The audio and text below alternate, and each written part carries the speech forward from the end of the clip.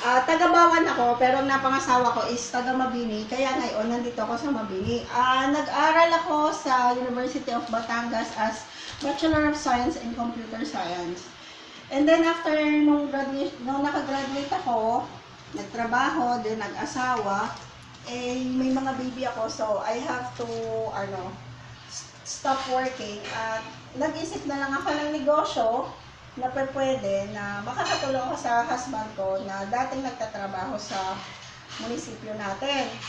So, I decide na magtayo ng business. Tiningnan ko yung ah, sitwasyon ng mabini. Alin ba ang kailangan or ano ang mga ah, demand ng mga taga rito sa mabini. So, ang nakita kong demand is sa mga bata sa school kailangan kailangan nila ng mga anak. So, naging idea ko is magtayo ng school supplies. Eh, wala pa ako mahanap na pwesto. So, naghanap ako dyan sa may labas. Nakita ko ay mayroong bakante na pwesto, talahiban. So, sinabi ko inanap ko yung may-ari, sinabi ko kung pwede magtayo ng pwesto. And luckily, binigay sa akin yung pwesto at yun ay tinawag na Lucky Pau. So, sa business, sobrang hirap mag-start unang-una, hindi ka pakilala. Kailangan mo ipakilala or ihabol sa demand ng mga tao ang kailangan. Lahat ng itanong kung maaari, meron ka. So, sa maliit na puhunan, pagkakabenta ko ng konti, labas ako para inililista ko lahat ng kulang or yung tinatanong ng mga tao, tapos binibili ko siya. Walang gabi, walang mainit, walang malamig, walang umuulan. Pagka gusto mo magtayo ng negosyo, ah, lahat ay ah, wala kang iisipin na mahirap. Lahat sasabihin mo, kaya mo. Lumarating yung araw na bumabagyo, salit na nasa loob ako ng bahay, lumalabas ako, bumibili ako ng pagyon, ng kanila, kasi alam ko yun ang kailangan. Ah, sa bago ko napakilala, sobra kailangan muna na ang, ang sarili mo is ilapit mo sa mga tao, lalo dun sa para magkaroon ka ng suki. Kailangan mo, maraming iba-ibang klase ugali ng tao, pero kailangan mo na ilapit or isabay kung ano ang ugali at pang at ugali para lang makuha mo yung simpatsya nila. So, para magiging suki mo sila. Ah, sa aming negosyo, dapat kailangan mo iayon sa panahon. Kung alaman mo na pasukan, alaman mo yung magiging demand is school supplies. Kung Pasko, gift items, iba-iba. So, sa tagal na ng Lucky Pau, it almost 15 years na, napag-aralan ko na every month ang demand at kailangan ng mga ah, tao. Minsan nga, pag lalo pagpapasko, ah, October pa lang, or September, kailangan ko nang masettle lahat ng aking mga ano, masettle lahat ng mga Christmas decor kasi yun yung nagtatawag sa tao na ito ay Pasko na. Ah, napaunlad ko ito. Kumbaga, sabi nga ng mga taga rito sa amin, hindi pa raw nila nagagawa yung nagawa. Nagawa ko na tungkol la- lalo sa tindahan ko. Pagod, hirap, sakripisyo, pasensya, kahit nga dugo minsan naialay ko pa kasi one time pa-aksidente ka sa kalye, uh, nandiyan umuulan sa Maynila, nabasa yung mga paninda ko, nahulog lahat sa nahulog lahat sa kalye, nasira yung tsinelas ko, umuwi ako ng tapak. Umuwi ako dito ng sobrang gabi na. So, more on sacrifices talaga. More on sacrifices ang gagawin mo para mapaulad ang negosyo mo. At isa pa, kailangan din marunong kang humawak ng pera. Napakadaming ah, simple lang yung buhay. Kung ano lang yung pangangailangan nyo, yun lang ang bilhin mo. Sa pagtitinda, napakaraming struggle sa buhay. Sa katulad ng nararanasan namin, syempre lahat ng tao gusto rin kumita, gusto magano. Ah, nagkaroon ng ah, number one effect is competition. Lahat ng tao or nakita, mabili yung paninda mo or ano, ginagaya.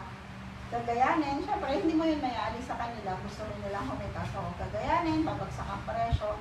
So, normal na yan sa lahat ng negosyo. Gagayanin, hindi pare-parehas. Kita mo Jollibee, tatabihan ng McDo. Ganyan lagi ang negosyo. Yan yung mga struggle.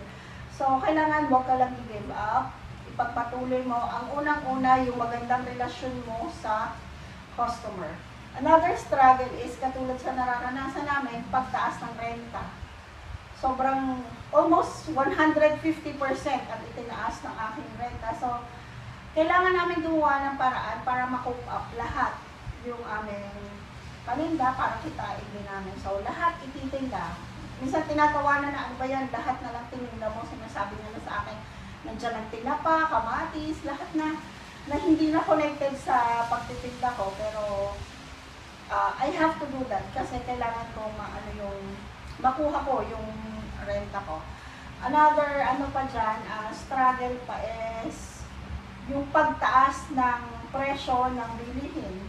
Hindi mo naman lagi masasabi na ganun lagi kaganda ang pagbebenta. So, tumataas yung presyo, kailangan mo rin habulin. Tapos magrereklamo ang mga, mga ano, mga magtiti, ang mga mamimili, bakit ang taas daw ng presyo. Yun yung mga struggle. Another struggle pa is dyan is yung health mo. Kailangan mo rin lagi pangalagaan yung health mo. Sa katulad ko, medyo may masama nang napapa, napapakiramdaman. So, yun yung mga struggle na kailangan mo na i-cover up. Lahat ng negosyo, lahat ng buhay, lagi may struggle. So, uh, maraming hirap talaga ang pinagdaanan.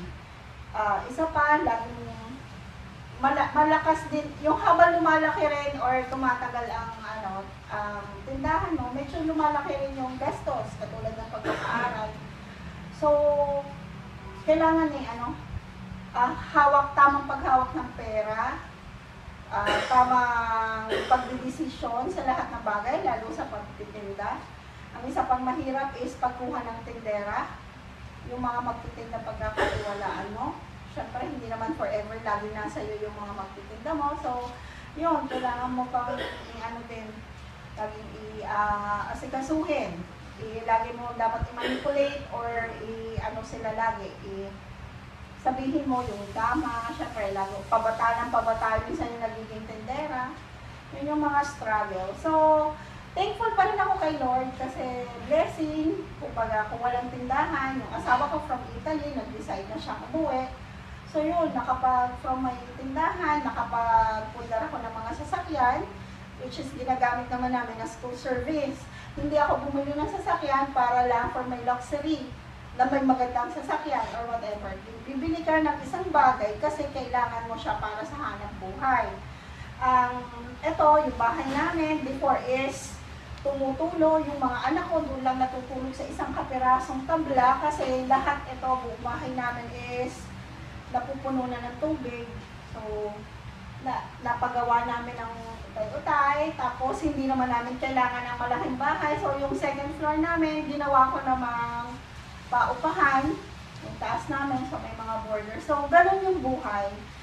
Uh, gagawan mo lahat ng paraan. So, hindi natin lagi mawawala lagi yung ano eh, difficulties, strategies, yung mga struggle talaga sa buhay. Pero, kailangan mo gawan lahat ng paraan. At yung mga luxury bagay, hindi natin dapat uh, bigyan ng pansin. Kahit yung mga anak ko, never ko silang pinalaki sa mga magagandang gadget or whatever.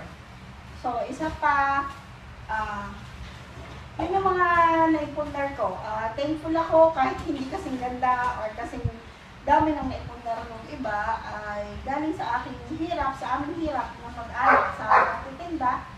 So, kahit pa paano is nakakapagpaaral, nakapundar ng konti. Yun, ang akin lang nasasabi, lalo sa negosyo, unang-una, kailangan, kailangan nyo ng ano, sacrifice at saka unang pala is trust kay God, uh, tamang paghawak ng pera, tamang sakripisyo, wala kang iisipin negative, positive lahat.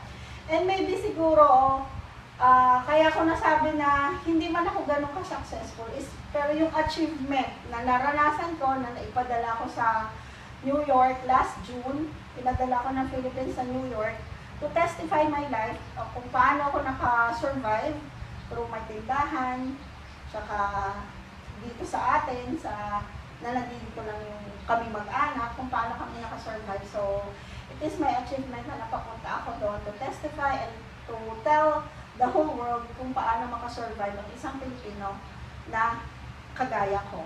And still hoping, syempre, hindi natin masasabi, life must go on, hindi natin masasabi na talaga dito sa atin ay medyo may struggle sa mga panahon ito. So, kailangan kong i-cope up lahat. Medyo may mga problema pag dumarating, katulad ng pagtaas ng renta, parang hindi namin kaya. So, ah, kailangan pa namin gumawa ng paraan para makaya kasi nagpapaaral pa. Yun.